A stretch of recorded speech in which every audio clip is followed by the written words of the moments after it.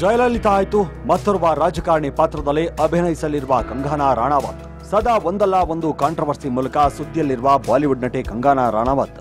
ಇದೀಗ ಮತ್ತೊಮ್ಮೆ ಸುದ್ದಿಯಲ್ಲಿದ್ದಾರೆ. ಇದು ಕಿರಿಕ್ ಕಾಂಟ್ರವರ್ಸಿ ಅಲ್ಲ, ಬದಲಾಗಿ ತಮ್ಮ ಮುಂದಿನ ಸಿನಿಮಾದ ಮೂಲಕ ಸುದ್ದಿಯಲ್ಲಿದ್ದಾರೆ. ಇತ್ತೀಚೆಗೆ ಕಾಲಿವುಡ್ ನಟಿ ಮತ್ತು ತಮಿಳುನಾಡು ಮಾಜಿ ಮುಖ್ಯಮಂತ್ರಿ ಜಯಲಲಿತಾ ಬಯೋಪಿಕ್ ಸಿನಿಮಾದಲ್ಲಿ ಅಭಿನಯಿಸಿದ್ದ ಕಂಗನಾ.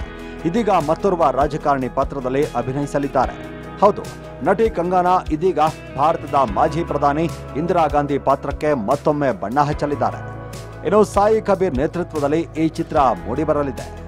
ಈ ವಿಚಾರವಾಗಿ ಪ್ರತಿಕ್ರಿಯಿಸಿರುವ ಕಂಗನಾ, ಈ ಚಿತ್ರವು ಕೇವಲ ಇಂದಿರಾ ಗಾಂಧಿಯವರ ಜೀವನ ಚರಿತ್ರೆಯನ್ನು ಮಾತ್ರ ಹೊಂದಿಲ್ಲ. ಬದಲಾಗಿ ಆಪರೇಷನ್ ಬ್ಲೂ ಸ್ಟಾರ್ ಮತ್ತು ಸಾವಿರದ ಒಂಬೈನೂರ ತೊಂಬತ್ತೇಳರಲ್ಲಿ ತುರ್ತು ಪರಿಸ್ಥಿತಿ ಘೋಷಣೆ ಜೊತೆಗೆ ಭಾರತೀಯ ರಾಜಕೀಯ ಇತಿಹಾಸದ ಮಹತ್ವದ ಕ್ಷಣಗಳನ್ನ ಚಿತ್ರ ಒಳಗೊಂಡಿದೆ ಅಂತ ತಿಳಿಸಿದರು. ಸದ್ಯ ಚಿತ್ರಕ್ಕೆ ಸಂಬಂಧಪಟ್ಟಂತ ಕೆಲಸಗಳು ನಡೀತಾ ಇದ್ದು, ಸ್ಕ್ರಿಪ್ಟ್ ಕೆಲಸ ಅಂತಿಮ ಹಂತದಲ್ಲಿದೆ. ಈ ಚಿತ್ರ ಇಂದಿರಾ ಗಾಂಧಿಯವರ ಜೀವನ ಚರಿತ್ರೆಯಲ್ಲ. ಇದೊಂದು ಕಂಪ್ಲೀಟ್ ಪೊಲಿಟಿಕಲ್ ಡ್ರಾಮಾ ಹೊಂದಿದೆ ಅಂತ ಹೇಳಿದ್ರೆ ತಪ್ಪಾಗಲಾರದು. ಈ ಸಿನಿಮಾ ಪ್ರಸ್ತುತ ಭಾರತದ ಸಾಮಾಜಿಕ ಹಾಗೂ ರಾಜಕೀಯ ಪರಿಸ್ಥಿತಿಗಳನ್ನ ಅರ್ಥ ಮಾಡಿಕೊಳ್ಳಲು ಯುವ ಪೀಳಿಗೆಗೆ ಸಹಾಯಕವಾಗುತ್ತೆ ಅಂತ ಹೇಳಿದರು.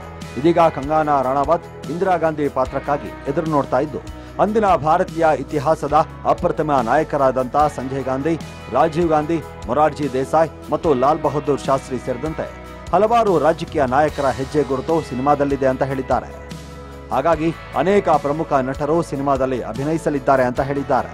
ಆದರೆ ಇನ್ನೂ ಹೆಸರಿಡದ ಈ ಚಿತ್ರದ ಟೈಟಲ್ ಅನ್ನ ಮುಂಬರುವ ದಿನಗಳಲ್ಲಿ ದೊಡ್ಡ ಮಟ್ಟದಲ್ಲಿ ಲಾಂಚ್ ಮಾಡಲಾಗುತ್ತೆ ಅಂತ ತಿಳಿಸಿದರು. Digital desk, public TV.